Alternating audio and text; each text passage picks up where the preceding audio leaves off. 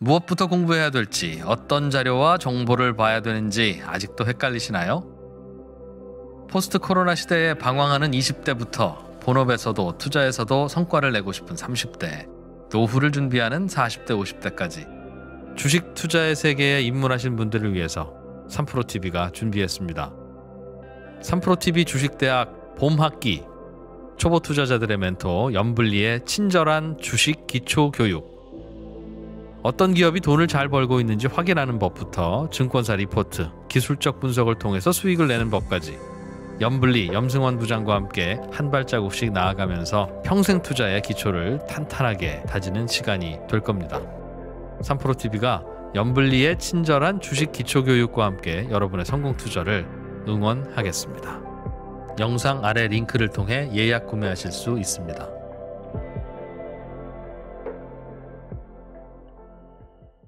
저는 지금의 우리가 알고 있는 빅테크들은 점점 더 유틸리티화 돼가고 돈을 잘 벌지만 성장은 아주 천천히 가는 예, 그런 기업들로 바뀌어가고 있다고 봐요.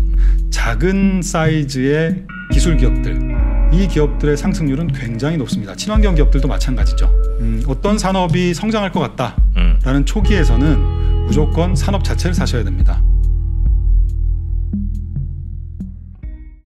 경제의 신들과 함께하는 고품격 경제 컨텐츠 신과 함께 168번째 시간 시작하도록 하겠습니다. 168번째 시간 거대한 변화의 문 앞에서 반갑습니다. 정프로입니다. 김프로입니다. 네. 아, 제가 시작하면서 거대한 변화의 문 앞에서라는 말씀. 거대한 변화의 문 앞에서 딱 이러면서 또 잘 안 되는 영어를 딱 한번 쓰는데 원래. 아, 그렇습니까? 네. Great challenge 어, in front of door front of 나올 줄 알았어. 네, 저희가 이렇게 거창한 제목을 어, 말씀을 드렸습니다만, 아, 제가 좀 얼핏 기억이 나요. 제가 어렸, 어렸을 때까지는 아니지만 하여튼 뭐 신발 가게가 하나 있었는데, 음. 이제 그 장사하시는 분께서, 네. 아, 뭐 디자인이 요즘 잘 안 돼서, 아니 뭐 옆에 무슨 가게가 생겨서, 뭐 무슨 음. 저 순대 냄새가 나서 뭐 장사 자꾸 안 된다고 한마디 한마디씩 하시는데, 음. 그때 저는 파악을 했어요. 뭐? 아, 그게 아니라, 이제 사람들은 아. 오프라인에서 온라인이라는 구매 행태에 큰 변화가 있었는데 음. 물론 이제 눈에 보이는 거야 뭐 옆에 가게 뭐 생기고 이런 게 이제 더 눈에 아, 들어오셨겠습니다만 큰 변화를 우리가 파악을 해야 된다는 겁니다. 그러면 바로 홈페이지 만들고 예. 예? 그 그때 대응하셨으면 탁 했으면 완전 대박 나는 거였죠. 그큰 변화를 오늘 저희가 좀 파악을 해야 되는데 네. 큰 변화하면 뭐겠습니까? 큰 변. KB 아니겠습니까? KB증권의 신동준 센터장님 모시도록 하겠습니다. 어서 오십시오. 네, 안녕하세요. 네, 반갑습니다. 네. 큰 변화 하실 거잖아요. 네, 이미 큰 변화를 하고 아, 있죠. 하고 큰 변의 큰 변의 그 이니셜이 KB야. KB잖아요. 네, KB증권이 큰 변화는 또 아, 전문이시니까. 큰 변의 또 신센터장이니까 큰 변화에 앞서는 새로운 또. 신동준 센터장님. 자, 제가 이제 앞에 뭐 그냥 제 얼- 얼핏 기억을 좀 말씀드리긴 했는데 실제로 지금이 그런 큰 변화에 이미 들어와 있는 상황 아니겠습니까? 어, 큰 변화가 시작되는 초기 국면이라고 보고요. 네. 지난 한 뭐 짧게 보면 10년, 네. 길게 보면 한 3, 40년 정도의 흐름에서 네. 이제 변곡점이 생기고 있는 그런 과정이라고 봅니다. 네. 음, 지난번에 제가 9월에 작년에 와서 어, 2010년대, 그러니까 네. 지난 10년은 대형 기술주가 주도하는 음. 어, 성장주였다면 예. 앞으로의 10년은 이제 친환경 산업들이 그렇죠. 어, 성장할 것이다라는 네. 이야기를 드렸는데요. 이제 그 내용이 요 파트의 한 부분이고요. 네. 그래서 작년 그 이후에 저희 시- 저희가 이제 10월, 11월에 어, 저희도 이제 올해를 전망하면서 여러 가지 이제 그림을 그리면서 네. 했던 생각들을 좀 다시 정리를 어, 한 거고요. 그 내용 오늘 좀 말씀을 드리고 네. 음, 최근에 이제 금리가 오른 것 때문에 걱정들이 워낙 많으셔서 네. 뒤에는 금리 상승에 대한 이야기 좀 음. 드릴 거고요. 네. 그리고 어, 지금은 금리 때문에 좀 음, 시장이 변동성이 커지고 있습니다 만 네. 어, 저희는 오히려 3월 이후부터는 이 집단 면역이 형성이 될 가능성에 대해서 네. 그리고 경제 활동이 이제 정상화될 가능성에 대해서 음. 조금 더 집중해서 봐야 된다라는 생각을 하고 있습니다. 네. 음, 리스크는 저는 오히려 지금이 아니라 요 네. 비슷한 그림의 모양은 아마 다음 분기, 2분기 한 중반 정도에 한 번 정도 더 있지 않을까 싶은데요. 그래서 그때를 잘 견뎌 나가면 올해 연말까지는 저는 시장은 어, 주식 시장은 아. 괜찮을 것 같고요. 말씀드린 대로 올해 연말까지뿐만 아니라 네. 좀 길게 봐서도 어, 음. 큰 변곡점 위에서 어, 시장이 긍정적인 흐름을 보일 것 같다 이런 생각을 가지고 있습니다. 네. 그러니까 최근에 그 조정과 비슷한 게 한 번 정도 더 있을 거고 네. 그 이후로 쭉 큰 그림으로 보자면 계속 간다 이거죠? 음, 뭐 지금 사실 최근 몇 주 사이에 있었던 조정은 네. 굉장히 작은 아, 조정 작은? 조정입니까? 네, 한 저만- 종목 개별 종목은 굉장히 저만 변동성이 컸지만 네. 사실 우리가 모르는 사이에 미국 주가는 뭐 다시 신고가를 경신하고 네. 아니 오늘 있으니까요. 아침에 그랬잖아요. 오늘 네. 아침에 다우 지수가 사상 최고가예요. 아, 목요일 아침 기준으로. 네, 목요일 네. 아침 지금 이제 녹화 날이 네. 25일이죠. 4일이죠. 25일이죠. 아, 25일. 네. 목요일 지금 점심이에요. 네. 네. 음. 자, 그래서 이제 어, 미국 주식도 지금 사상 최고가를 이어가고 있고 우리도 뭐 작은 어쩌면 크게 보자면 이제 작은 정도의 조정이 좀 있었지만 어, 그 비슷한 혹은 그보다 약간 더 클 수 있는 조정 한 번 정도가 네. 더 아마 있을 것 같고 그 이후로는 조금 더 어, 성장세를 이어갈 것 같다. 여기 이제 센터장님의 전망이신 거죠? 네, 맞습니다. 네. 네. 알겠습니다. 그래서 저희가 이제 어, 어떤 변화가 우리에게 닥쳐오는지 뭐 대충은 저희도 감은 잡고 있습니다. 예를 네네. 들면 뭐 친환경으로 에너지에 대해 뭐 전환이 좀 있을 것 같고 특히나 뭐 전기차나 이쪽으로 뭐 많이 될 것 같고 또 또 뭐 있죠? 대충 감이 있잖아요, 우리. 저요? 예. 어, 바이오, 아, 바이오. 고령화가 많이 되면서 이제 바이오나 뭐 제약 네. 이쪽으로 이제 좀 크게 갈 것 같고. 신재생. 그 신재생. 음. 예. 그 정도 변화. 거기에 또뭐 네. 더 있습니까? 뭐 그 같은 맥락에서 쭉 한번 네. 말씀을 드릴게요. 음, 첫 페이지에 제가 준비한 자료를 보시면은 어, The Great Shift라고 저희가 이름을 붙였습니다. Great Shift. 네. 그러니까 예. 팬데믹하고 미국의 집권당이 이제 교체됐지 않습니까? 네. 이두 개가 겹치면서 어, 향후에 글로벌 경제, 금융시장에 굉장히 큰 변화가 나타나고 있다. 이미 나타나기 시작했다라는 음. 부분이죠. 어, 제일 먼저 어, 말씀드리고 싶은 것은 그 주주자본주의가 그동안의 대세였죠. 네. 음, 그리고 효율성을 강조하는 자본주의가 대세였는데 이것이 점점 더이 공공성을 강조하는 형태의 자본주의로 네. 어, 이동하고 있다라는 겁니다. 음. 어, 2019년 9월인데요. 당시에 미국의 이 대표 기업의 아, CEO 분들께서 한 180분 정도가 이 비즈니스 라운드 테이블이라는 멤버들이 있는데요. 음. 이분들께서 기업의 목적 선언을 한 게 있습니다. 예. 어, 그 내용을 보면은 주주가치 극대화라는 문구를 삭제했고요. 예. 어, 대신 기업은 사회의 다양한 이해관계자와 협력해야 된다. 예. 그리고 어, 단기이익보다는 장기이윤을 창출해야 된다. 예. 네, 이런 이야기를 이제 팬데믹 이전이죠. 2019년 9월이니까 팬데믹 터지기 한 3, 4개월 전에 이 기업의 목적 선언이라는 것을 했습니다. 예. 뭐그 사진에서 보시는 것처럼 뭐 유명한 CEO들이 지금 다 거의 다 들어가 계신데 그러네요. 팀 쿡도 네. 보이고요. 네, 뭐 아마존의 베조스 베조스 회장도 보이시고, 보이고. 어, 근데 당시에 이 뉴스를 들었을 때만 해도 아, 굉장히 생뚱맞은 이야기 아닌가. 어떻게 네. 주주가치 극대화라는 기업의 음. 목적을 삭제하고 어, 사회의 다양한 이해관계자와 협력해야 된다라는 것을 넣었을까라는 거죠. 음. 음, 이 사회의 다양한 이해관계자라는 것은 주주도 물론 포함되지만 음, 종업원, 그러니까 직원들, 그렇죠. 그리고 지역 사회 예. 뭐 이런 것들이 다 지금 포괄하는 거래처라든지 개념, 네, 데. 개념입니다. 네. 맞습니다. 그때만 해도 이 굉장히 생뚱맞다고 생각했습니다만 음, 팬데믹이 터지고 나서 음. 이 돈주인이 중앙은행이나 정부로 바뀌었지 않습니까? 그렇죠. 네, 민간 기업들에게 정부나 중앙은행이 자금을 투입하면서 음. 네. 살리기도 하고 어떻게 보면 요즘에도 보면 뭐 의약품이라든가 이런 의료 마스크라든가 이런 부분을 정부가 발주해서 또 계약을 그 주기도 정부가 하니까요. 네. 저 사실은 그 백신도 트럼프 행정부가 야 이거 패스트트랙으로 무조건 돈 줘라 여기 그래가지고 밀어줘가지고 맞습니다. 그게 나온 거지 음. 그냥 놔뒀으면 이렇게 빨리 못 나왔겠죠. 네네 그렇죠. 그래서 이게 역사적으로 이런 네. 팬데믹이라든가 금융 위기라든가 뭐 대공황 음. 뭐 이런 것들이 발생하면 그 뒤엔 항상 이제 큰 정부가 등장을 하고 어, 돈의 이 공급자가 민간에서 정부로 바뀐다는 거죠. 그렇죠. 네. 예. 그러면서 이 공공자본주의가 더 가속화가 되는데요. 네. 이 공공자본주의라는 의미는 이 다음 페이지에 보시면 공공성이 강조된 자본주의가 등장한다는 것은 곧 이제 ESG가 본격적으로 시작된다는 뜻입니다. 네. 음. 그래서 ESG는 이거는 뭐 5년 전에도 있었고 10년 네. 전에도 있었지만 현재로서는 이거 저는 저희는 메가 트렌드라고 생각하고 있고요. 이건 일시적인 유행이 아니다. 음. 왜냐하면 이 공공성이 강한 자본주의랑 결합됐기 때문에 그렇다라는 거죠. 예. 예를 들어서 그 과거에 지난 뭐 10년, 20년, 30년을 돌이켜 보면 음, 임기가 있거나 하는 CEO에게 예. 어, 돈을 벌어라라는 이제 당연히 명령이 있, 있지 않겠습니까?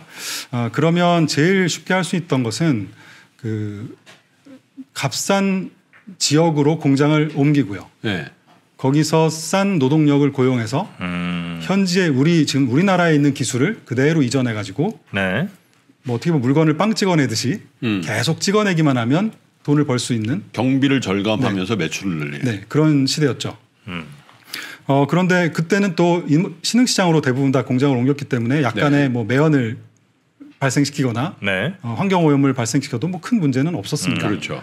근데 지금의 정부는 아, 그렇다 보니까 지금 문제는 계속해서 양적으로 팽창하는 형태의 기업들이 어, 지속이 되다 보니까 이제부 이제는 더 이상 싼 지역을 찾기가 네. 어려워지고요. 음. 네, 비용이 이제는 뭐 중국이나 베트남이나 이런 쪽도 비용 예전만큼. 싸지 않기 때문에 네. 네. 이제는 공장을 계속 확장시키는 전략이 아, 이렇게 딱 들어맞지 않는 시대가 점점점 이제 다가오게 된 거죠. 한개 네. 비용이 이제 더 이상 아, 체감적으로 낮아지지 않는다는 않는. 거죠. 예. 네. 그렇게 되면 미국 같은 큰 나라의 입장에서 보면 자유무역 체제를 굳이 예, 수호하면서 비용을 들여가면서 군사력을 낭비해가면서 가져갈 필요가 네. 아, 이제 옛날만큼 효용성이 떨어지게 되죠. 음. 그래서 트럼프 대통령이 뭐 보호무역주의를 한다거나 이제는 뭐 우방이나 동맹의 개념을 좀 약하게 만든 개념은 음. 저는 그런 맥락상에 있다고 저는 봅니다. 네. 네. 네, 그렇게 되면 지금의 정부는 이제는 돈의 주인이 아까 어, 정부나 중앙은행으로 바뀌어 있기 때문에 음. 지금의 정부는 조금 효율성이 떨어지더라도 네. 좀 비싸더라도 국내 공장을 짓고 음. 국내에서 사람을 뽑고 네. 네, 후대를 후대를 위해서 환경을 보호해 가면서 예. 이제 경영을 하기를 바라는 거죠. 음. 네, 이것이 바로 이제 바로 ESG 아니겠습니까?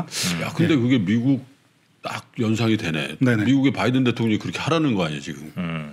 뭐 바이든 대통령뿐만 아니라 지금 우리나라도 네. 예를 들면 예전 같으면 자연스럽게 디폴트가 되거나 정리해야 됐어야 되는 기업들이 있을 수 있는데요. 음. 네, 그런 기업들도 고용 창출 효과가 너무 크거나 네. 예, 아니면 사회적인 파장이 크거나 한 기업들은 음. 일단 뭐 이익을 내진 않아도 좋으니까 음. 어느 정도 유지만 하면 정부가 네. 돈을 넣어주고 어떻게 보면 고용을 유지하면서 전체가 우리가 상생하는 기업으로 가자 뭐 이런 컨셉들이 이제 나오기 시작하니까요. 음. 그 이쯤에서 제가 하나 좀 여쭤보고 싶은 게 이제 큰 변화 아닙니까? 혹시 이 주주 가치의 극대화에 좀 이어지는 예를 들면 공공성이 강한 자본주의 등장이라는 게 우리도 왜 과거에 보면 그냥 뭐뭐 대기업들 막 그 회장들 이렇게 혼나고 그러면 뭐 사회공헌 뭐 얼마 내놓겠다 뭐, 이- 뭐 이런 거 많이 하잖아요. 음. 근데 그게 오래 지속되지 못하잖아요. 왜냐하면 타의에 의한 뭐 이런 강제적인 뭐 이런 거다 보니까 그래서 미국도 혹시 지금 이제 민주당 정부 들어서고 뭐 이러다 보니까 잠시 이 대기업들 어- 어마어마한 글로벌 대기업들이 우리 ESG 강화할 거야 뭐 공공성을 뭐 아. 높이겠다 이렇게 했지만 바람 불 때니까 좀 예, 몸을 너무 낮추자. 결국은 다시 이제 주주 가치의 극대화를 포기할 이유는 별로 보이지는 않는 것 같거든요. 그러니까 강제적으로 어쩔 수 없이 타의적으로 살짝 변화는 주는 것 같지만 그 다시 원래대로 좀 돌아가지는 않겠느냐는 질문입니다. 음, 주주 가치 극대화라는 문구를 삭제하고 올렸지만 아까 거기에 사회 다양한 이해관계자 안에 주주가 들어 있습니다. 네네. 어떻게 주제 주주가치 이해- 이해를 네. 완전히 배제하고 갈수뭐 있겠습니까? 당연히 그렇겠죠. 네. 그래서 저는 그 비중이 예전에는 거의 100% 주주가치 극대화였다면 네. 거기에 조금 조금씩 조금씩 공공성이 이제 들어오게 되면서 음. 자연스럽게 ESG가 커지고 있고 음. ESG 중에서 ESG 중에서는 지금 친환경이 일단 먼저 네. 좀 자리를 잡기 시작하는 네. 뭐 그런 분위기라고 저희는 보고 있습니다. 음. 네.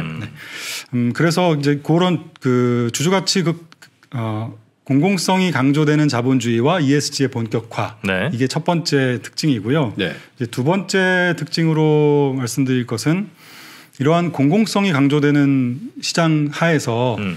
어, 탈세계화가 촉진이 되다 보니까 음.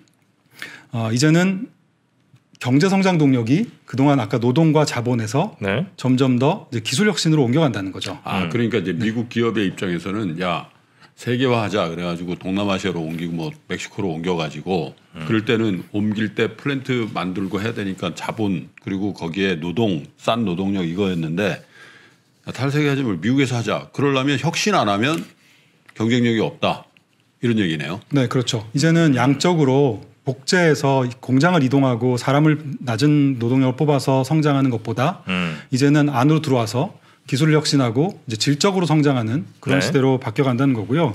네, 그 과정에서 돈 주인이 이제는 어, 중앙은행과 정부 이렇게 음. 공공성이 강한 네, 자금이 됐기 때문에 뭐 인내 자본이라고도 표현하는데요. 인내 자본. 네네. 예를 들어서 임기가 있는 CEO에게 예.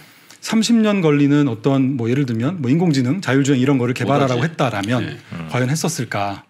네, 쉽지 않았겠죠. 네. 일단 돈이 투입되는 과정에서 기술을 개발하고 그것을 민간에다 라이선스를 주면서 이제 민간에서 그 라이선스를 가지고 이제 비즈니스를 하는 음. 네. 이런 형태의 기술 혁신이 일어난다는 거죠. 그 다음 페이지에 가서 보시면 네. 네. 어, 최근에 많이 받는 질문 중에 하나는 어, 지금처럼 교육량이 좀 감소하고 어, 탈세계화가 되는 세상이 되면 한국처럼 교육량이 뭐 무역 비중이 높은 나라가 아, 과연 불리하다. 성장할 수 있겠는가? 뭐 그렇죠. 이런 질문이 많이 있으세요. 네. 그래서 저는 꼭 그렇지 않습니다라는 거죠. 어, 왼쪽 차트에 보시면 세계화 시대에는 경제 규모 대비 이 교육량이 증가합니다.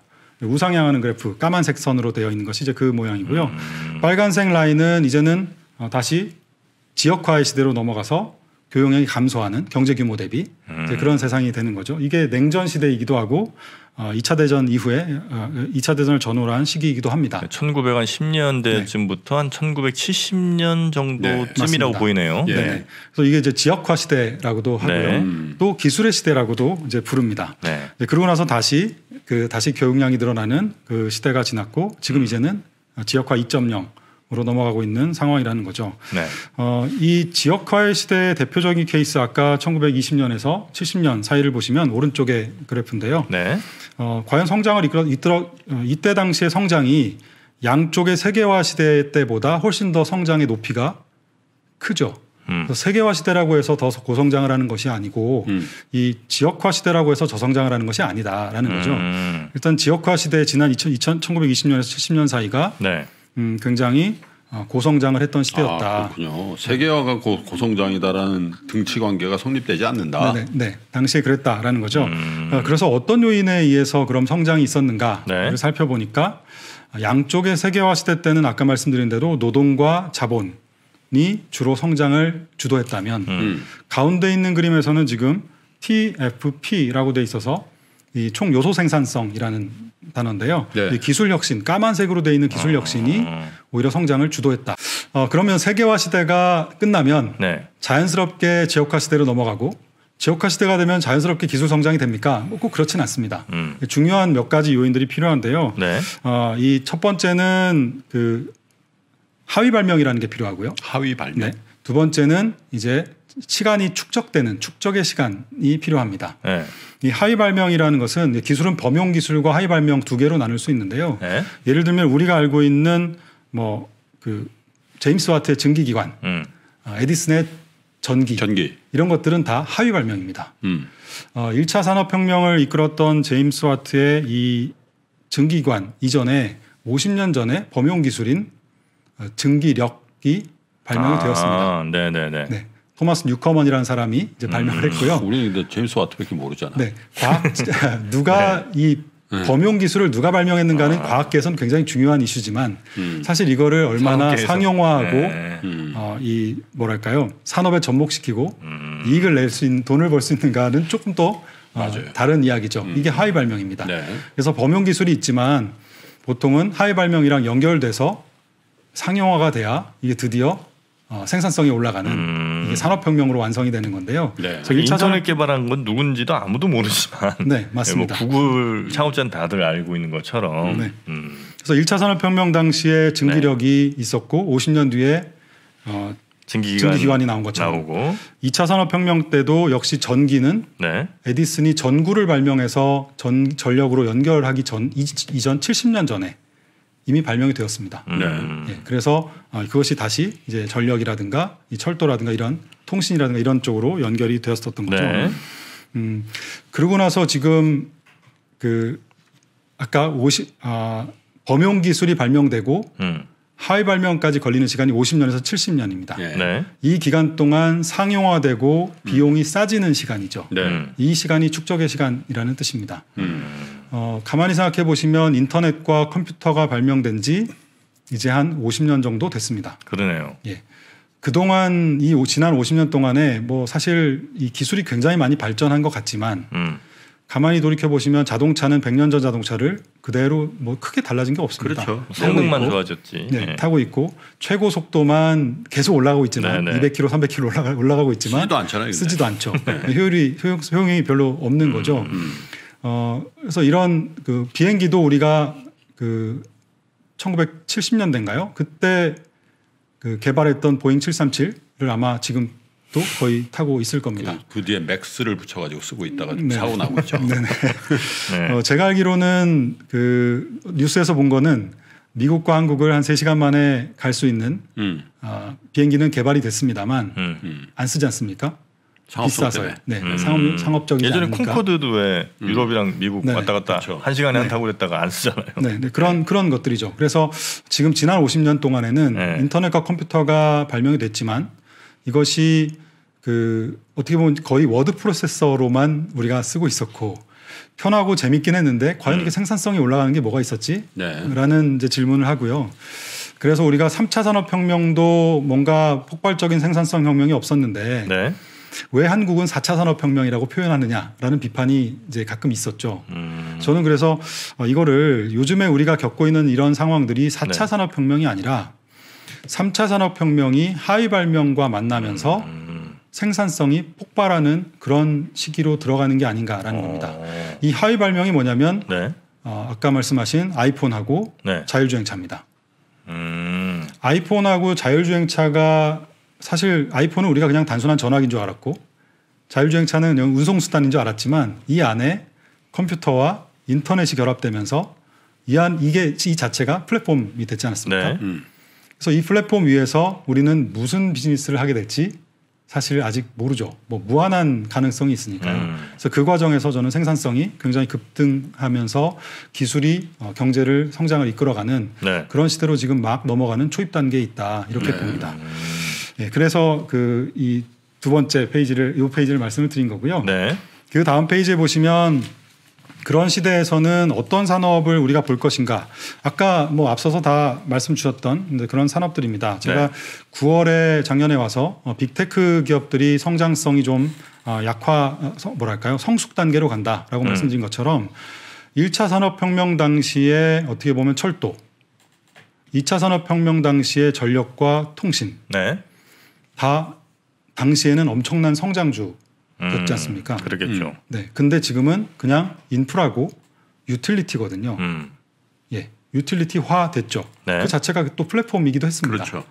저는 지금의 우리가 알고 있는 빅테크들은 점점 더 유틸리티화 돼 가고 플랫폼이 될 거라고 봅니다. 음. 그래서 아까 그런 아, 전통적인 철도와 전력 통신이 네. 엄청난 성장주에서 성숙 단계로 가면서 플랫폼이 되고 유틸리티가 된 것처럼 음.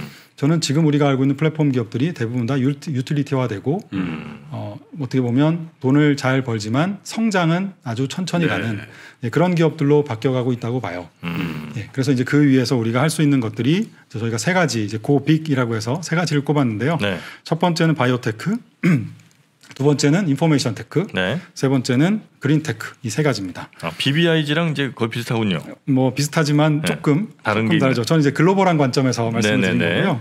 어, biotech는 이번에 우리가 팬데믹을 겪으면서 느꼈지만 어, 이 의료 산업이 이미 공공 보건에서 음. 안보 영역으로 넘어왔습니다.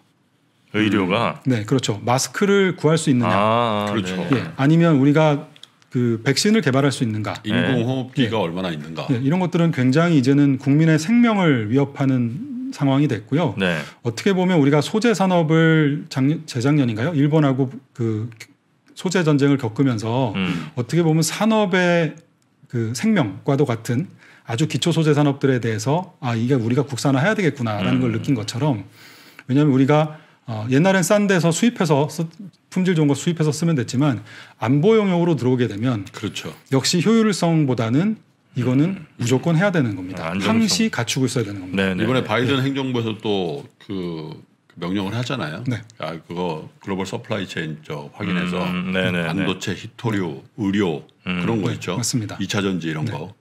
그런 맥락이네요. 네, 맞습니다. 그래서 이제 국방이 마치 그랬던 것처럼 국방 산업이 지금 엄청 크지 않습니까? 전쟁 네. 안 해도. 이거는 그냥 그때그때 필요할 때마다 꺼내 쓸 수 있는 게 아니라 음. 항상 갖추고 있어야 되는 산업으로 네. 바뀌었다는 거죠. 음. 그런 의미에서의 바이오테크는 어, 굉장히 무궁무진한 발전 가능성이 있다. 어, 어떤 사회학자는 그런 얘기도 했더라고요. 앞으로 뭐 수년 뒤에는 바이오 기업들이 전 세계 가장 큰 기업이 될 것이다. 뭐 이런 이야기도 음. 어, 한 바가 있습니다. 전 그런 맥락에서 바이오 산업을 말씀드린 거고요. 네. 아, 두번 뭐 고령화라든가 뭐 이런 건 뭐 당연히 알고 음. 계신 내용이니까요. 네, 두 번째는 information tech인데요. 아까 기술 성장주의 주도권이 플랫폼 기업들에서 네, 플랫폼 기업들에서 이제 플랫폼을 이용해서 성장하는 기업들, 뭐 핀테크라든가 공유 경제, 게임, 컨텐츠, clean energy, 뭐 디지털 헬스케어 뭐 이런 네. 기업들로 어, 바뀐다는 거죠. 뭐 이건 뭐 잘 알고 계신 내용들입니다. 네. 음, 마지막으로는 green tech이고요. green tech는 뭐 여러 번 강조드린 것처럼 친환경으로 포장된 인프라 투자 업종, 산업과 소재 중심으로 예, 성장을 한다는 건데요. 음. 음, 재밌는 것 중에 하나는 왼쪽에 있는 차트 보시면 어, 산업혁명과 에너지혁명이 동시에 옵니다. 1차 산업혁명 당시에는 석탄, 음. 2차 산업혁명 당시에는 석유와 가스, 이 3차 산업혁명은 저는 클린 에너지 네. 가 연결되지 않을까 싶은데요. 네. 왜냐하면 에너지 혁명이 따라가지 않으면 아까 그 비싼 비용을 대면서 효율화할 수 없으니까요. 음. 그래서 지금은 이 에너지원별 소비 비중을 보시면 네.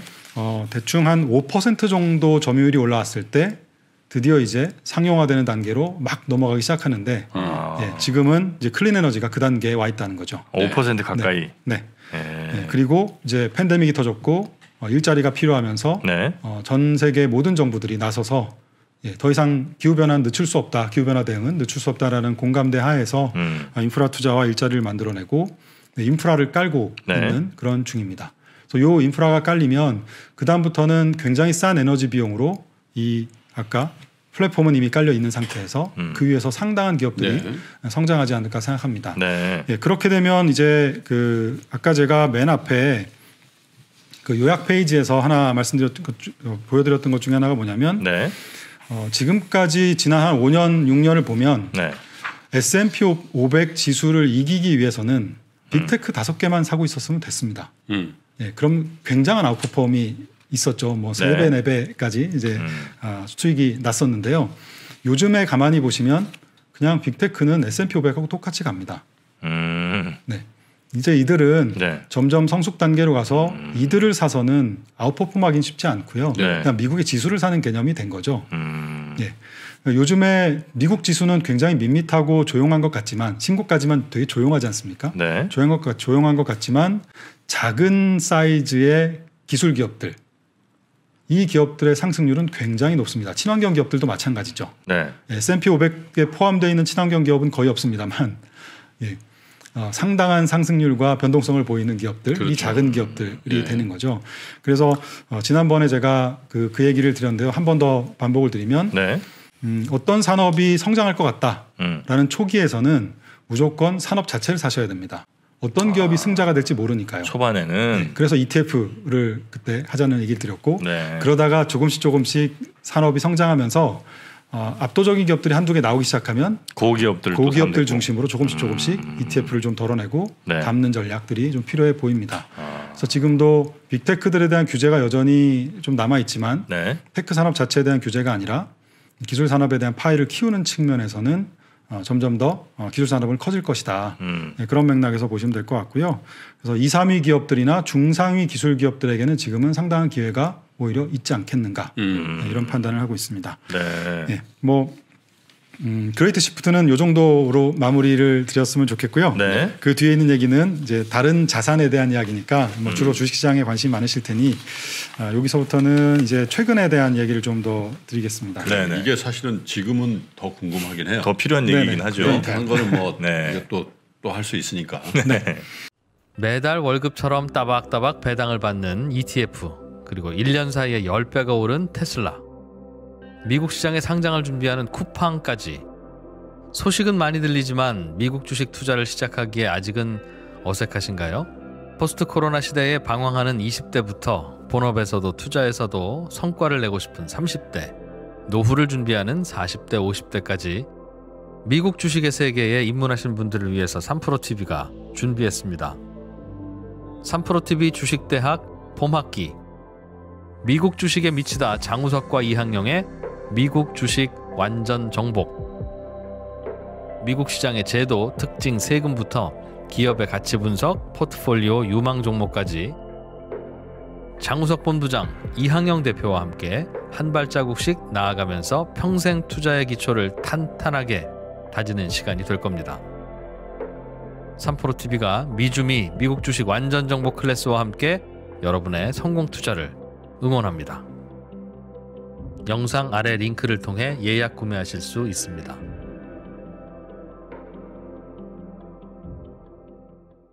금리가 낮아지면서 성장주를 굉장히 좋게 봤기 때문에 네. 아, 최근에 그 성장주가 친환경 기업들로 좀 바뀌어 있기 때문에 예. 어, 금리 상승하는 것에 대해서, 대해서 좀 충격을 받는 그런 상황인데요. 음, 현재까지는 시장의 컨센서스를 가만히 생각해 보시면 음, 경기가 좋아지면서 물가나 금리가 올라가는 거는 뭐 자연스러운 현상 아니냐. 네.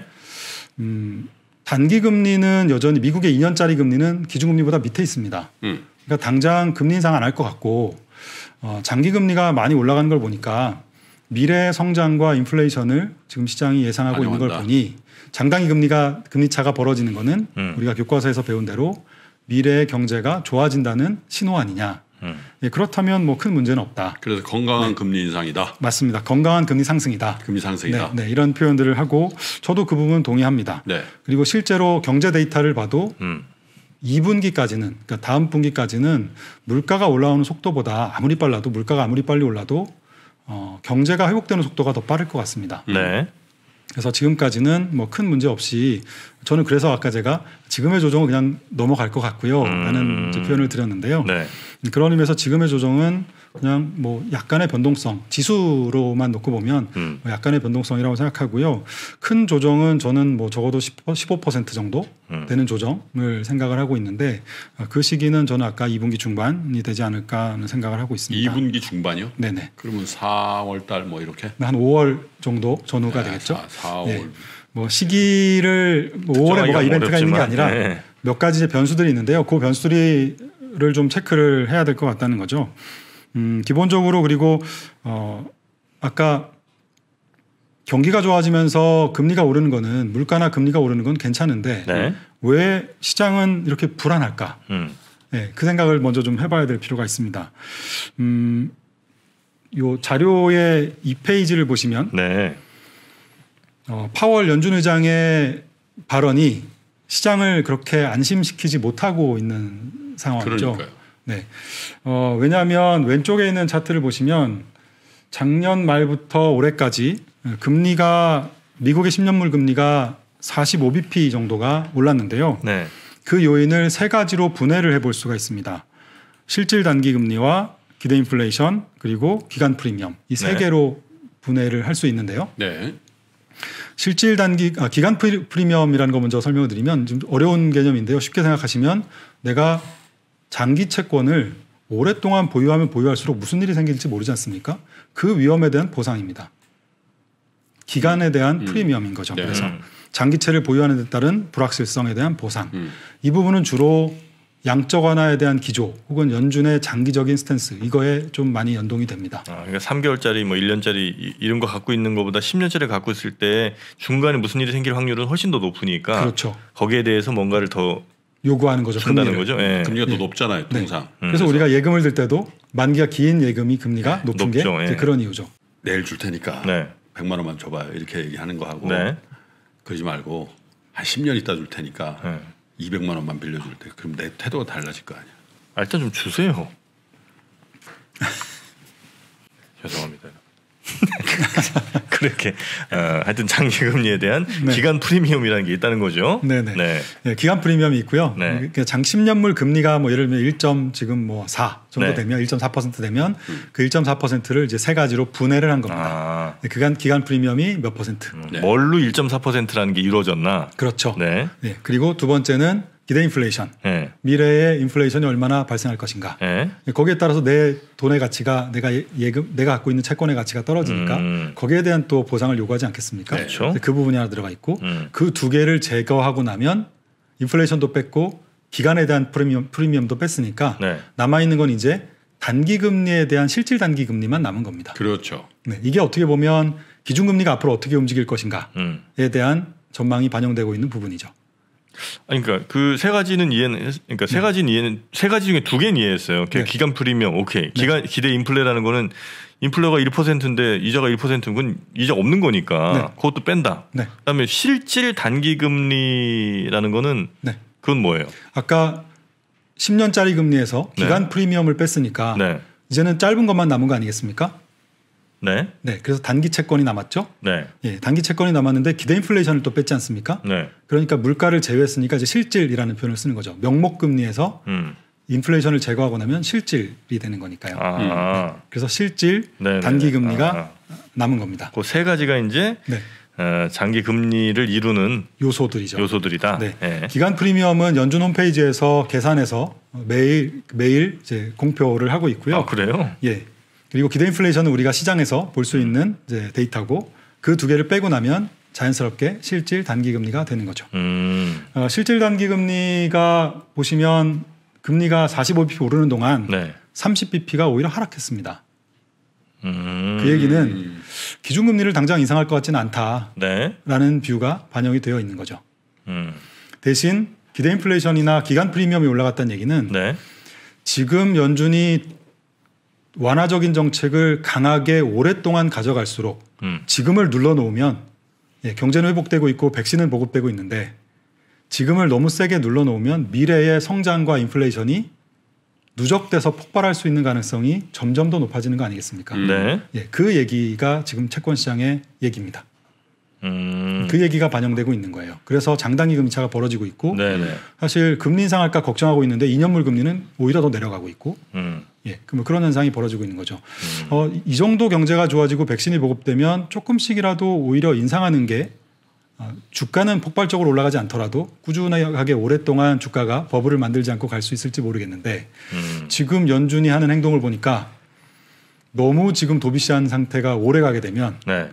이게 나중에 인플레이션이 아뜨거하고 발생했을 때 음. 허둥지둥 금리를 서둘러서 올리겠다가 항상 시장을 망가뜨렸던 게 그동안 버블이 터졌거나 침체에 빠지는 전형적인 패턴이었습니다. 음. 예, 그거를 지금 저는 시장이 좀 우려하고 있는 것 같아요. 음. 예, 그래서 어, 오른쪽에 있는 차트를 같이 보시면 이거 미국의 금리 파생 상품 시장에 반영되어 있는 앞으로 금리를 어, 1년 뒤, 2년 뒤, 3년 뒤, 5년 뒤에 얼마나 금리를 인상할 것인 얼마까지 기준금리가 인상될 것인가라는 것을 반영한 아, 그래프를 제가 그려온 겁니다. 저것도 선물 시장이 있다면서요. 네 맞습니다. 선물 시장도 있고 음. OIS 시장도 있고 그러니까. 유로 달러 시장도 있고 뭐 다양한 시장이 있습니다. 예, 이또 실제 거래가 되기도 하고요. 그러니까. 네. 많은 거래가 되죠. 어, 빨간색으로 되어 있는 1년 후 보면 금리 인상 없습니다. 음. 네, 올해 말이라고 보시면 되- 되겠죠. 어, 오렌지색으로 되어 있는 2년 후에는 한 번 정도의 금리 인상이 지금 반영이 되어 있습니다. 예. 음. 연준의 점도표는 2023년까지 동결이에요. 네. 예, 파월 의장도 오늘 아침에 어, 앞으로 3년 정도까지는 뭐 인플레이션 발생할 가능성 별로 없다. 뭐 이런 얘기를 했지 않습니까? 근데 여기는 높게 본다는 거죠? 네, 근데 하나, 하나 정도 올린다는 예, 거죠? 3년 뒤에 보시면 거의 1% 가까이 한 세 번 정도 금리를 인상하는 것으로 시장은 지금 pricing이 되어 있는 거예요. 음. 저거 실제로 저거 꽤 중요한 게 아까도 얘기했지만 저런 거를 예측하는 선물 거래가 있으니까 돈 내고 하는 거는 지금 저게 그죠? 네. 그냥 예측만 하는 게 아니라 실제로 리얼하게 돈 내고 거래를 하는 맞습니다.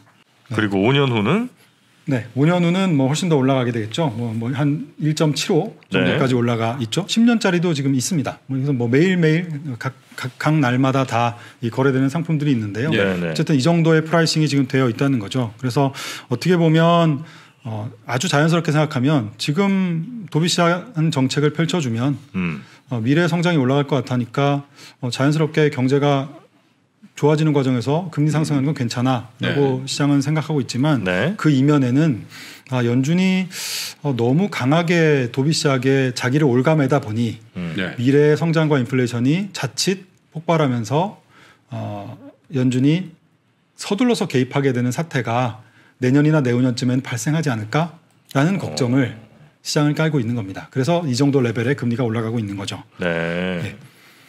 지금 금리가 올라가는 거에 대해서 이제 해석을 이렇게 좀 해주신 거고. 네네. 근데 어쨌든 뭐 면역이라든지 집단 면역이라든지 경제 활동도 굉장히 지금 이제 정상화로 우리가 생각했던 것보다 좀 빠르게 가고 있는 거죠. 네네. 그래서 지금은 금리가 상승하는 부분에 대해서는 네. 어, 당장의 리스크 요인은 아닌 것 같다. 음. 말씀하신 대로 컨센서스 자체가 경제가 좋아지니까 올라가니까 괜찮다. 네. 게 있고 어, 두 번째는 아까 불안하게 보고 있는 요인들은 아까 2022년이나 23년도에 인상하는 어, 인상이 될지도 모른다라는 요인인데요. 이 요인 역시도 사실 인플레이션에 대한 기대는 높아지고 있지만 음. 실제 성장이 아직 일어날 거에 대한 확신은 못 하고 있는 부분이지 않겠습니까? 네. 근데 그 부분은 저는 3월 이후에 여러 가지 정책들이 이제 발표되고 나면 음. 자연스럽게 성장은 따라 올라와 줄 거라고 봅니다. 네. 그래서 저는 지금은 장기 금리가 올라가는 부분이나 이런 부분에 걱정하시기보다는 네. 3월 이후에 펼쳐질 집단 면역이라든가 경제 활동 정상화에 좀 더 포인트를 맞추셨으면 좋겠는데요. 음. 왼쪽에 보시면 뭐 이미 일간 확진자 신규 확진자 수가 어, 눈에 띄게 감소하고 있습니다. 어, 요즘에 이 데이터 잘 안 챙겨 보시는데요. 어, 보시면 미국이 뭐 이미 한참 내려와 있고요. 네. 뭐 영국도 그렇고요. 우리나라가 지금 뭐 확진자 수가 많이 나오다 보니까 어, 잘 체감하지 못하고 있지만. 음. 사실 영국과 미국은 이미 훨씬 더 확진자 수가 줄어들고 있습니다. 지금 정도의 백신 접종률이라면 음, 이스라엘은 전 세계에서 가장 빨리 지금 네, 백신을 네. 접종하고 있는데요. 3월 말이면 집단 면역을 형성할 수 있을 것 같고요. 집단 면역이라 함은 성인의 70%가 두 번, 지금은 이제 두 번 맞아야 되지 않습니까? 어, 음. 두 번의 접종을 하는 그 끝내는 네. 것을 말합니다. 음. 그래서 보통 70%에선 90% 정도 되면 지- 집단 면역이 형성됐다 이렇게 표현을 하는데 네. 이스라엘은 현재 추세로면 3월 말이 예상이 되고요. 어, 미국의 경우에는 뭐 6월 말 정도면 한 70%이 오른쪽 차트에 보시면 70% 정도 어, 접종이 가능합니다. 근데 70% 접종 돼, 돼, 돼도 사실은 지금 걸린 사람에다가 네. 확진된 사람들도 그만큼 많고 또 확진됐는지도 모르고 자기 걸린지도 모르고 지나간 사람도 꽤 많다라는 거 아니에요, 그죠? 네, 그래서 아마도 그 집단 면역이 다 돼도 아마 바이러스를 이제 이겼다라고 선언해도 마스크는 좀 쓰고 다니지 않을까 싶은 생각은 들어요. 음, 음. 마스크 쓰면서 다 자연스러, 자연스러 운 경제 활동들을 하는 뭐 그렇지 않을까 싶습니다. 어, 여기에 이제 이번 주말에 아마 방송이 나가는 날쯤 될 것 같은데요. 네. 이번 주 26일 날 존슨앤존슨의 백신이 이제 긴급 사용이 승인. 허- 아, 긴급 승인이 될 사용이 긴급 사용이 예. 승인될 예정인데요. 이거는 한 번 접종으로 한 끝나는 것이고. 음. 네. 어, 이 보관 자체가 냉장 보관이 가능합니다. 네. 냉동이 아니라 그래서 보관하면서 유실되거나 이 잘못될 확률이 굉장히 작다라는 거죠. 음. 그래서 이 백신이 보급되기 시작하면 어, 이 뭐 굉장히 빠른 속도로 아마 백신 접종이 진행이 되지 않을까 싶고요. 그 과정에서 5월 중순 정도 되면 미국 성인 2 억 명, 2억 1000명 중에서 한 50% 정도가 완료가 되고 네. 아까 말씀드린 6월 말에는 집단 면역 형성되지 않겠는가. 네. 음, 이렇게 저희는 생각을 하고 있습니다. 음, 영국도 뭐 굉장히 빠른데요. 영국은 3월부터 그 봉쇄를 좀 완화하는 계획들을 이미 발표를 했고요. 네. 어, 4월부터는 비필수 사업체에 대해서 영업을 재개하고 음. 예, 5월 달엔 30인 정도까지는 야외 모임도 가능하고 어. 6월 하순 정도 되면 이제 어, 모든 사회적 거리두기에 대한 제한을 해제한다는 계획을 갖고 있습니다. 네. 사실 6월 말이면 얼마 안 남았거든요. 그러네요. 그래서 어, 어떻게 보면 어, 어저께 미국 주가가 올라간 부분 그리고 산업이나 운송 쪽 항공주 뭐 이런 쪽이 굉장히 지금 빠르게 올라가는 부분은 이 경제 활동 정상화에 대한 기대를 지금 이미 반영하고 있는 게 아닌가 하는 생각을 합니다. 그래서 음. 우리도 어, 조금 시간이 지나면 3월 달에는 3월 중순 정도에 아까 추가 재정 부양책도 좀 통과될 네. 거고요. 그리고 친환경 인프라 중심의 여러 가지 부양책도 좀 추진이 되면서 네. 이 성장에 대한 기대는 어, 굉장히 빠르게 올라오지 않겠나 생각합니다. 음. 뭐 이럴 때는 뭐 당연히 어, 금융이나 산업, 소재, 뭐 경기 소비 이런 경기 민감 업종들이 수혜를 받을 거고요. 네. 음. 어, 자연스럽게 다시 인플레이션이나 금리나 이런 부분이 오르겠죠. 네. 저는 그 과정에서는 어, 미국이 빠른 회복을 보이고 있기 때문에 미국 금리가 오르면서 달러도 일시- 좀 강세가 그때까지는 2분기까지는 될 가능성이 좀 높아 보이고요. 음. 어, 한국 주식이 좀 부진한 이유가 뭐 그런 맥락에서도 뭐 연결을 좀 해볼 수 있지 않을까 많이 싶어요. 올랐기도 하고. 예, 그리고 달러가 좀 약해져 줘야 한국 주식에는 좀 긍정적인 현상들이 그동안 있었는데 음. 지금은 뭐 달러도 좀 강한 네. 예, 회복의 백- 백신의 회복 그 접종 속도 경기 회복 속도가 아무래도 미국이 좀더 빠르다 보니까 현재 현재의 모멘텀은 아, 그런 현상이 나타나고 있지 않을까 싶습니다. 근데 원래 신동준 센터님 유명한 채권 그 애널리스트셨거든요 예전에 음. 예, 정말로 그래서 그래서 제가 이번 주 신과 함께를 저희가 이제 만들면서 야 이것도 좀 여쭤봐야 되겠다. 음. 예? 대충 미 국채 10년물이 제일 중요한 금리니까 네. 우리 센터님 보시기에 어느 정도 레벨까지 가면은 건강한 네. 그러니까 왜냐하면 속도와 폭이 중요한데 네, 에, 지금 속도가 빨라서 문제라고 자꾸 그러시더라고요. 네네. 채권 전문가들이. 맞습니다. 네. 근데 이제 에, 속도를 떠나서 절대 금리 레벨이 네. 10년 만기 국채 금리 기준으로 어느 정도 레벨이면 네. 지금 현재 저 경제 여건으로 봤을 때 네네. 주식 시장이 굉장히 부담스러운 레벨이라고 보십니까? 음, 근데 말씀하신 대로 속도가 중요하기 때문에요. 네. 속도가 천천히 올라가면서 금리가 인상 상승하는 것은 뭐 저는 뭐큰 무리, 무리- 무리는 없어 보입니다. 네. 근데 지금처럼 어, 경제의 회복 속도는 물론 빠르긴 하지만 우리가 체감하고 있지 못한 상태에서 금리가 이제 지금처럼 올라버리면 네. 어, 그거는 좀 리스크가 있어 보이고요. 그래서 지금은 뭐 저희가 추정한 데이터는 뭐 한 1.80 네. 정도 수준 뭐 2.0 가까이 될 거라는 시장이 걱정을 하기 시작하면 예. 그때는 좀 주식시장에 좀큰 충격을 받지 않을까 음. 싶은데요. 어, 거기까지 갈 가능성은 지금으로서는 어, 큰 많지 않다? 네, 가능성을 아, 보고 있지는 그래요? 않습니다. 지금 1.4억 원까지 왔는데 네. 1.8 넘어갈 가능성이 많지 않다라니까 마지나한데. 음, 지금요. 그러니까 지금 요번 이 이벤트에서 음. 어, 그래서 아까 제가 2분기 중반 정도 말씀을 드렸고요. 네. 그- 그래서 경제 활동이 좀 정상화가 되고 재정 지출도 재정 지원도 조금씩 더 나오고 네. 인프라에 대해서도 어, 바이든 후보가 아, 대통령이 이제는 계획을 발표해서 집행이 되기 시작하고 그러고 나면 이제 2분기 중반 뭐 5월 6월 이렇게 넘어가지 않겠습니까? 네. 저는 그때쯤은 또 날씨도 좀 따뜻해지고 그래서 음. 이 팬데믹에 대해서는 많은 리스크들이 음. 이젠 좀 잦아질 것 같고 어, 그때는 이미 주가가 지금보다 훨씬 더 높게, 높게? 올라가 있을 겁니다. 음. 음, 그때에 나타날 수 있는 리스크들을 좀 봐야 될 것 같아요. 네. 그때는 당연히 연준이나 음. 중국의 인민은행이 이게 팬데믹 때문에 돈 풀었는데 음. 지금 팬데믹도 어느 정도 통제가 돼가고 있고 예 그리고 재정 지출도 이제 시작을 했는데 음. 과연 지금의 통화 정책 강도를 계속 가져가는 게 맞는가 에 대한 고민을 스스로도 하지 않겠습니까? 네. 시장도 당연히 할 겁니다. 그래서 아까 아, 너무 누르고 있는 게 리스크다라고 얘기를 드린 거죠. 연준이 음. 너무 도비시한 정책을 오랫동안 유지하고 있는 것 자체가 네. 음. 미래의 리스크로 작용할 수 있다는 거죠. 그래서 그 정도 되면 시장이 자연스럽게 다시 포인트를 연준의 금리 인상 음. 뭐 이런 쪽으로 맞추면서 어, 조정이 한번 올 수 있다는 생각을 하고요. 음, 그때 또 하나 제가 어, 리스크 요인으로 보고 있는 게 유가입니다. 어, 유가가 이 다음 페이지에 보시면 음, 지금까지 올라오는 유가는요. 지금 유가가 배럴당 62불, 63불 정도까지 WTI가 올라왔는데요. 네. 경제 좋으니까 올라오는 거지 혹은 항공 수요가 조금씩 생기니까 아, 이제 운송 수요가 생기니까 유가가 오른 거 아니겠는가 음. 이제 이게 현재 지금까지 컨센서스죠 그런데 제가 보기에는 이 부분은 음, 저는 2000 저희는 2020 내년 내년이죠 내년 상반기까지 네. 유가는 구조적으로 짧게 강세가 될 수 있다라고 봅니다. 음.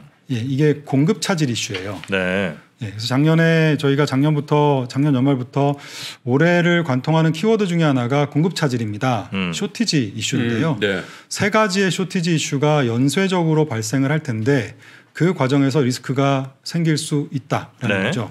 첫 번째 쇼티지 리스크는 생산의 쇼티지였습니다. 음. 이건 이미 우리가 다 알고 있는 내용이지 않습니까? 네. 그것 때문에 작년 가을 겨울에 한국 중국 주가가 많이 올랐죠. 음. 네. 어, 두 번째 나오는 쇼티지 이슈는 원자재에 대한 쇼티지예요. 네. 어, 많은 기업들이 지금은 그 왼쪽에 있는 차트 보시면 에너지 메이저 에너지 업체들이 대부분 다 에너지 전환 정책들을 이미 펼치고 있습니다. 그렇죠. 음. 예, 탈석탄을 하는 과정에서 앞으로 석유를 파는 기업들이 혹은 석유 관련 제품을 파는 기업들이 네. 그대로 가서는 이 수익성도 물론이고 이 존립 자체도 위협을 받을 수 있다 보니까 음. 어, 상당한 자금들을 이제는 원유 시설이나 생산하는 데 투자하지 않고 음. 재생에너지 쪽으로 자금을 이미 투자를 옮기고 있어요. 네. 음.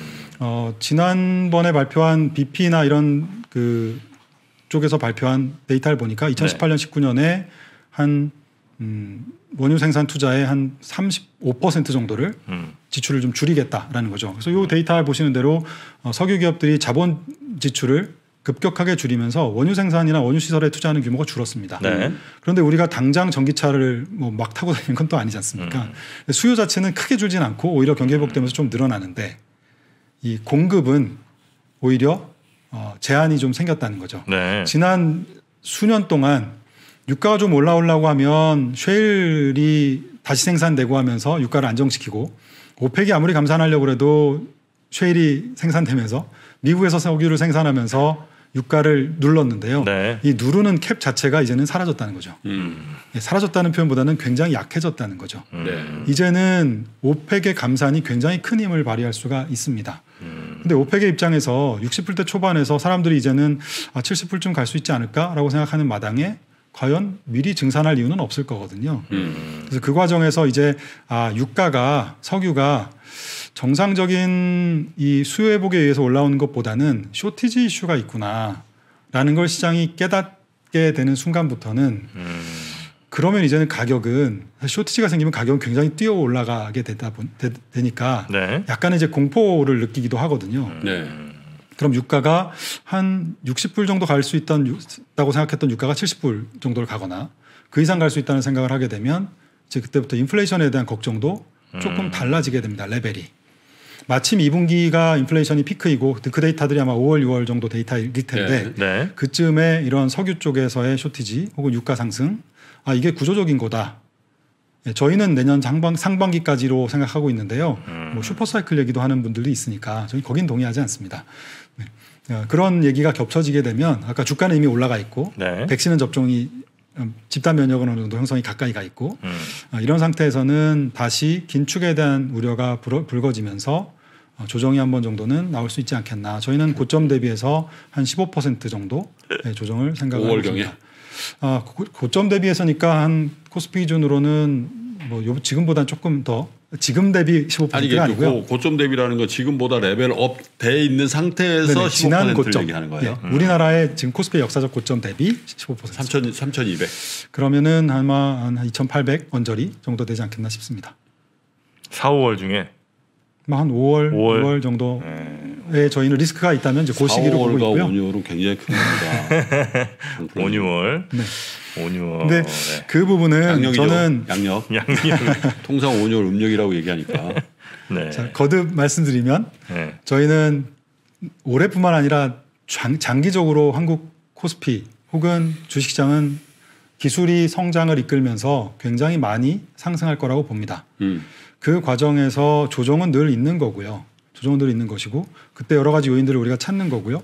한 10% 미만의 조정은 사실은 특별하게 의견을 바꾸지 않고 그냥 어, 보유하면서 또 하긴 이틀 지나갑니다. 2, 3일 만에도 한 번씩 나올 수 있는 거거든. 네, 그렇게 또 말씀드리고 있고 네. 10% 정도의 조정이라면 그냥 보유하시고 남아 있는 자금을 오히려 더 조정받았을 때 투입하는 게 맞다고 보고요. 네. 한15% 정도 조정이면 조금 애매합니다. 그런 면 그런 면에서는.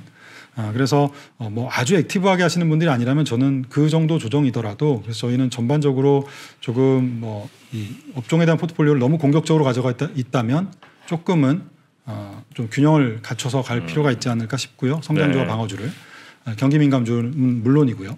그래서 15% 정도 조정이 저는 저희는 뭐 그 정도라고 예상을 하고 있지만 없이 지나갈 수 있는 것도 뭐 당연히 있지 않겠습니까? 네. 그래서 저는 지금은 미리 그 시기를 예상해서 포지션을 줄이자는 얘기는 뭐 전혀 드리고 있지 않습니다. 왜냐하면 네. 중장기적으로 트레, 어, upside의 트렌드를 보이는 시장에서 반대 방향에서 내가 trading을 한다는 것은 정말 전문적으로 시장을 하루 종일 쳐다보고 있는 사람들도 쉽지 않은 음. 선택이거든요. 왜냐하면 네. 잘 팔아야 되고 또 잘 사야 합니다. 이 두 번을 잘 맞춰야 되는데 이게 쉽지가 않거든요. 음. 그래서 추세가 바뀌지 않는 거라면 저는 한 10% 남짓한 15%도 제가 뭐 max 그 정도 말씀을 드렸는데 네. 10% 10% 남짓한 조정이라면 오히려 아 이런 요인에 의해서 조정이 오는구나라는 걸 알고 계시니까 네. 아, 조금은 음. 어떻게 보면 좀 여유 있게 기다리시면서 그러겠습니다. 어, 새로운 그 아까 경제 재개방에 대한 이슈 이런 것들을 좀 어, 오히려 누려 가시는 게 네. 더좀 좋지 않을까 이제 생각을 합니다. 15% 정도면 큰 거예요? 아니면 중... 큰 거지. 큰 거예요? 큰건15% 조정이면? 단기간에 조정 받으면은 네. 싸대. 이번에 사실 네, 네. 그 2,000 포인트, 3,000 포인트 살짝 무너졌잖아요. 네. 근데 우리가 에, 최고가가 뭐 3,200 포인트 어간이잖아요. 네. 그죠? 3,200에서 200 포인트 빠지는데도 단기간에 빠져버리니까 싸했잖아. 안 싸했어? 저요? 저는 뭐 이미 쌓였나? 이미 많이 쌓여갖고? 지금 뭐 아, 알겠습니다. 15% 단기간에 빠지면은 추세 전환이라고 얘기들을 많이 해요. 아, 네, 그게 기준점이 한 15% 정도 돼요. 아. 그래요. 네. 꽤큰 조정. 10%만 넘어와도 야 이게 조정이야?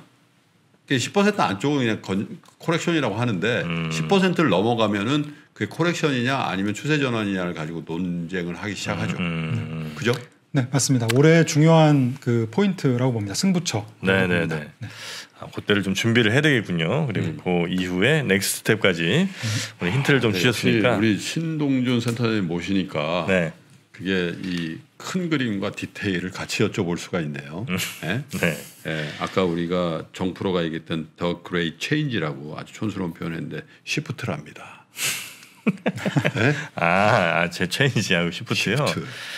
알겠습니다. 네. 큰 변화를 우리가 한번 들어보고 네. 그리고 또 워낙에 저 금리에 또 정통하신 분이니까 예, 금리의 어떤 상한선 같은 것도 좀 의견을 여쭤보니까 네. 정리가 딱 되네요. 네. 음. 아, 지금 5, 6월쯤 뭐 물론 이제 없을 수도 있지만 예, 있다면 5, 6월쯤에 있을 조정을 준비하면서 뭔가 이렇게 쫙 좀 대비해 놓고 그리고 이제 그 이후를 또 예. 준비한다면 아마 지금 좀 아, 힘들었던 음, 상황들이 조금 더 개선되는 데 도움되지 않으실까 싶습니다. 예. 자 오늘 아, 신과 함께 168번째 시간은요 저희가 KB증권의 신동준 센터장님과 함께 했습니다. 오늘 함께 해주신 신동준 센터장님 대단히 고맙습니다. 네, 감사합니다. 감사합니다. 네.